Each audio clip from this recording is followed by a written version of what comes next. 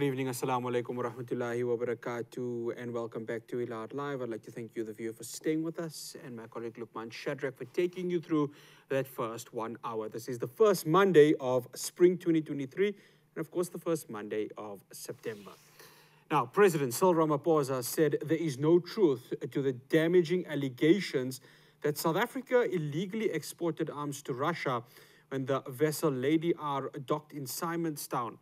Now, in May, United States Ambassador to South Africa, Reuben Brigety, claimed that weapons and ammunition were loaded onto a Russian cargo ship that docked near a naval base in Cape Town in December last year.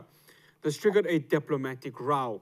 Joining us now is the Democratic Alliance's Shadow Minister of Defense, Kobus Marais. Mr. Marais, good evening and thank you so much for joining us on Hilaal Live. Good evening, and uh, uh, it is a pleasure and an honor to be with you and your viewers. No, the pleasure is ours, and thank you for joining us. Mr. Marais, uh, is the case closed? Is it as simple as that? No, it is not, certainly not closed, and it is not as simple as it seems, uh, because that would have, uh, you know, equates to a, uh, you know, sweeping under the carpet. Uh, most certainly not. Uh, we, we in ourselves and myself are very disappointed in the report, at least what we have seen and heard so far, um, because clearly it seems like the uh, scope and the terms of reference of the of the panel was very, very narrow and very, very closed um, in terms of what they should be uh, investigated and what they were in, allowed to investigate. Um, because I mean, what the what the president has alluded to um, is is is not e- even scratching the surface. Uh, and what even just in terms of what he has said, there are so many uh, you know controversial things that has happened, and the and the reality seems to be totally different from what he has claimed. Even as small things as uh, you know just the authority to dock in Simonstown and whether it was equipment or ammunition that was offloaded, whether it was 2018 or 2019 and 2020. Um, so there are small things that is uh, seems to be um, not um, in in cohesion with each other. Uh, so yes, uh, we are very concerned, and we are very concerned that the um, remember the president has even when he appointed the panel, he has already said at that stage that he would not make available uh, the report, which sounded like, and we were very cautious that uh, you know there might have been a predetermined outcome, and he was just looking for some panel's justification, uh, you know, for that predetermined outcome. And now it seems like we have got a predetermined outcome, although you know his arguments for not making the the report uh, available and public uh, doesn't seem to to add more much value, and it doesn't seem to to justify that as well. Mr. Marais, listening to his speech yesterday, they just felt a sense of it was very lukewarm. There wasn't much information that was given. Uh, I, I don't know whether that's the take of the DA also, that maybe there were certain parts that were missing within what he was meant to speak of regarding this report. Well, most certainly, because remember, although he has initially said that he will not reveal the, the, the report, has uh, information emerged um, since then that says he might reveal certain parts of the report. Now, then one asks the question so, which parts? And what is the qualifications and the criteria for making available certain parts? I can just say the one thing that he has mentioned that the so called equipment that was ordered in 2018 uh, and that is of a class- classified nature, uh, and therefore he cannot reveal that. Uh, that's, that's not acceptable because remember my information, and I'm a member of the Joint Standing Committee on Defense, and we get quarterly reports and annual reports from the NCACC on all permits being issued, whether it's for import, export, marketing, conveyance, whatever the purpose might be. Um, and I have gone back to 2017 uh, and there was never any um, permit being granted for equipment per se, because you know that report classify uh, and categorize products, and then it gives descriptions, and then it says from where it is imported, the country, or where to it's being exported. the quantity and the value, uh, and all that uh, that was um, available from the reports. And I must say that's a public document, so it was it was submitted in an open open meeting, was not was not closed, and it was not classified at that stage. So the only information that I could gather from those reports was in 2019 and 2020 there were import permits granted for the importation of of ammunition, and it has been classified or categorized as um, rounds and shells uh, that was imported from um, from Russia, uh, and that correlates 100% with what was already known that the uh, special forces, especially five special forces regiment in Phalaborwa, uh, they often prefer to use East Bloc ammunition and specifically AK-47s for their work in Africa and they obviously um, they they also train with that. So so the fact that there was um, AK-47 bullets being ordered, um, that's no strange phenomenon.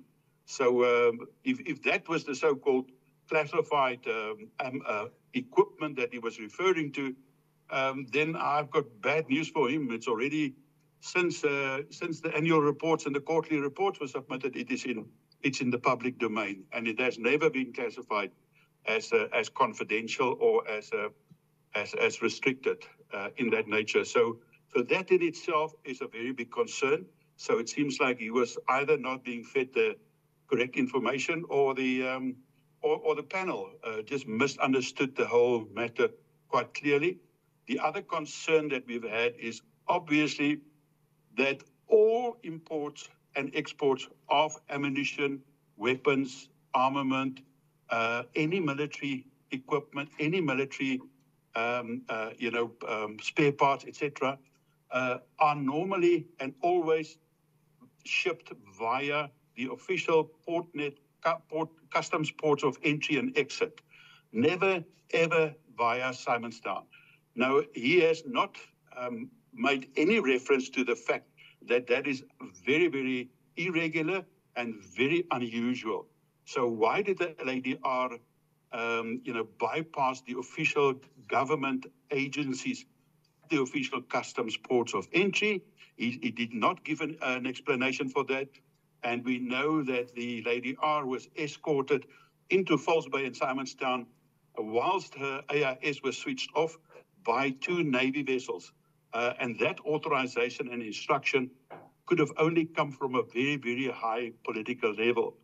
Uh, because that in itself is, is, incredibly unusual and it's probably the only time in my lifetime that I know of that, or at least in my in my um, uh, time in Parliament. So so that is incredibly unusual, uh, and he has not he's not even spoken a word about that. The fact that that the um, security uh, guards of the SA Navy was instructed not to to report for work in that those evenings uh, and that uh, you know some other agency, seemingly the uh, Special Forces Regiment, has handled the the the in and out of of the naval precinct. Um, he hasn't even spoken about that. He has not even mentioned that. Uh, and that is all to do with the docking of the vessel, irrespective of what was loaded or, or, or offloaded or, or, loaded onto the vessel. The other matter that I just wanted to mention is that the, the, the, the ammunition that was offloaded was about the equivalent of seven containers. And that, that correlates 100% with the two permits that was issued. Now, whether those permits were still valid uh, or not is, is an open question, and we need to get confirmation on that because it, the, the normal uh, validity dates has have expired, um, and uh, we've got no information whether there's been a reapplication of those permits because it has not been reported to the Joint Standing Committee on Defence as per the the Act. Um, so so so you know um, so you know there, there there seems to be a lot of controversial things, uh, conflicting things, uh, to which the president and seemingly the report has not spoken to. So uh, so yeah, um, uh, I Mr. know I, I know to... for a fact Mr. Ray, I have to just maybe stop you there because I just want get one question in. You, had, you did answer a, a, a, question that I was about to ask, so thank you for that. Uh, Mr. Marais, you, you, obviously said you're part of the Joint Standing Committee.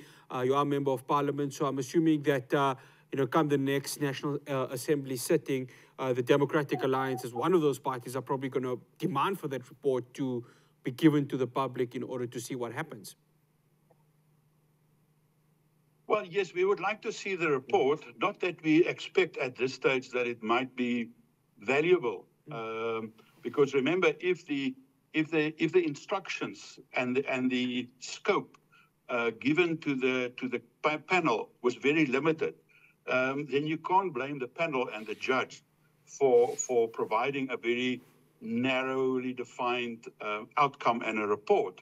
So um, yes, we, we obviously would like to see the report.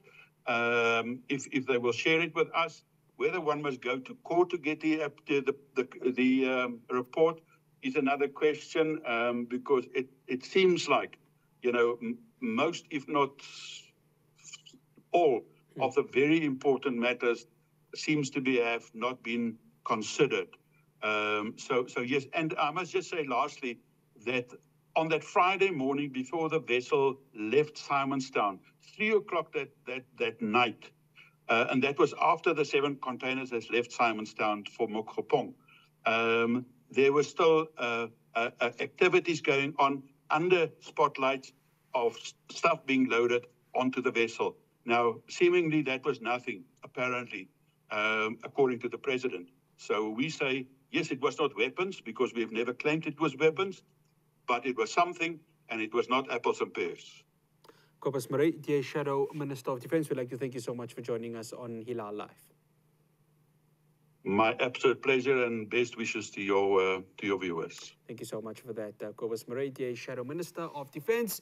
Well, we wait to see what happens with regards to this lady uh, report, but President Ramaphosa has insisted no weapons were loaded. And of course, we will have more for that on our news bulletin. After the break, uh, the agricultural sector, they've been given a major boost by the Agro uh, Energy Fund for farmers to grant us South Africans food security.